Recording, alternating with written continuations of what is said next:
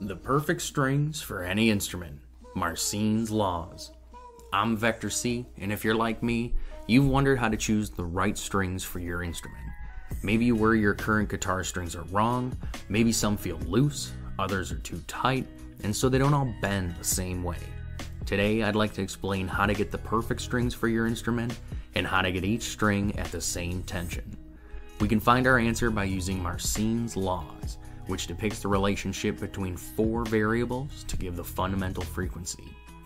F, the frequency we want our string, 2L, twice the length of our string that vibrates, T, the amount of tension pulling the string, and U, the mass per unit length of the material.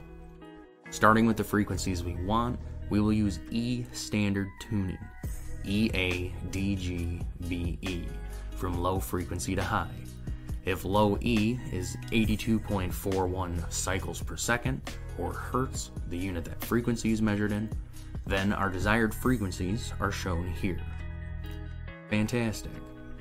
Second, the length that our string vibrates is the only portion of the string that is relevant and many guitars' scales lengths measure around 25 and a half inches or 0.648 meters, with twice that value being 1.296 meters. Since each guitar string is the same length, we will have the length of 0.648 meters for all six strings. Tension is a pulling force and can be changed with the tuning pegs.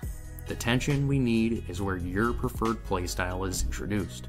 If you want notes that are easy to bend, you may want to look around the 60 to 80 newtons of force range, and if you want sharper notes that stay in tune no matter how hard you strum, your range may work around 80 to 100 plus newtons of force.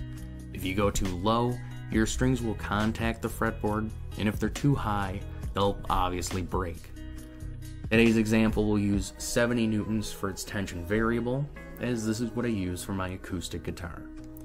The final variable, the mass per unit length, is quite simply the mass of the string divided by the length of a string. It can be thought of as density in one dimension. This is where the magic happens, as we'll solve for this variable and we'll reveal what strings we should use. Here, I'm going to rearrange the equation in order to get our mass per unit length by itself.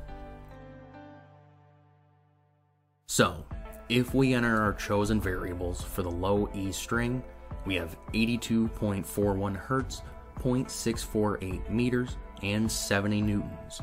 The result of this is a linear density of roughly 0.00614 kilograms per unit length.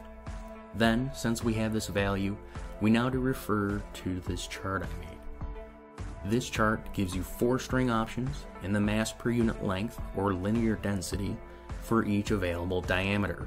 The left portion shows the values for plain steel strings, and the remainder shows the value for three types of wounded strings.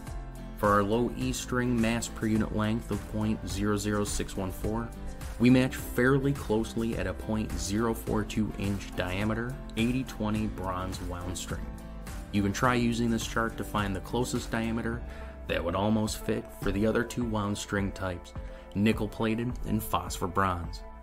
Our A string has a linear density of 0.00344, which matches close to a 0.032 inch diameter 8020 bronze wound string.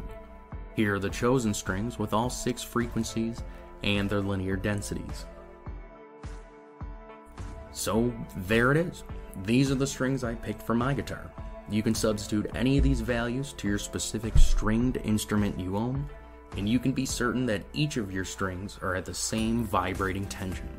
One word of caution is to be careful about the total tension on your instrument's neck, as you'll need the entire length of the string from the ball to the tuning pegs to account for the total tension. These vary depending on your headstock. The total average force on the guitar neck is about 890 newtons or 148 newtons per string. To get the total tension, you take the vibrating tension, then multiply it by the total length divided by the vibrating length. What I find fascinating to discover is having the strings be wounded rather than unwounded has no difference on the tension needed to get the string up to the right frequency, since it's only dependent on the linear density. And this explains why our strings didn't feel right before. Some were too heavy and therefore too loose, some were too light and therefore too taut. Now that we understand why, we can pick the right strings for our instrument. That's it.